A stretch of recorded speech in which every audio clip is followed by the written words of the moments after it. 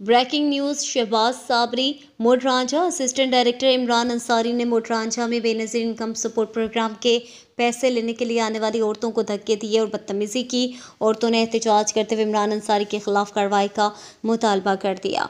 Assistant director court मोमिन इमरान अंसारी ने मोटरांझा में इनकम सपोर्ट प्रोग्राम के पैसे, बेनज़ीर इनकम सपोर्ट प्रोग्राम के पैसे लेने के लिए आने वाली औरतों को धक्के मारे। असिस्टेंट डायरेक्टर इमरान अंसारी के खिलाफ फौरी कार्रवाई का मुतालबा किया है। रबता करने पर असिस्टेंट डायरेक्टर इमरान न्यासी ने मौके देने से इनकार कर दिया। गरीब, लाचार, बेबस औरतों ने एहतजाज करते हुए कहा